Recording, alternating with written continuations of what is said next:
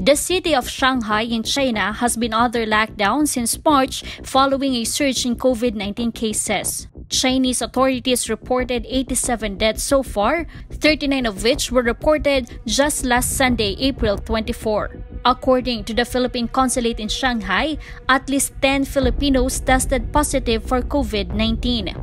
This footage, sent to Advocates Philippines, shows a quarantine facility in Shanghai.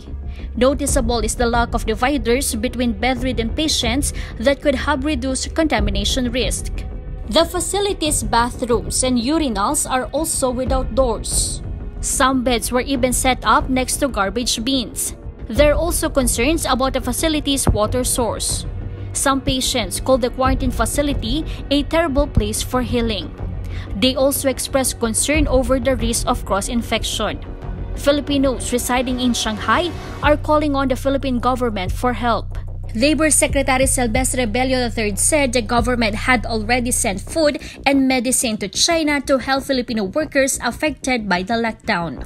The Department of Foreign Affairs is also in the process of identifying Filipinos who need financial assistance.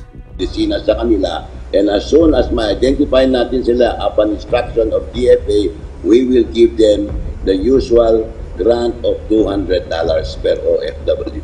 According to some OFWs, a no work no pay arrangement had been implemented in the city since the lockdown. The Overseas Workers Welfare Administration already met with the Philippine Consulate General in Shanghai over this and other related problems. They're still formulating a plan of action to assist around 4,000 Filipinos in Shanghai. This is Bea Bernardo for Advocates Philippines.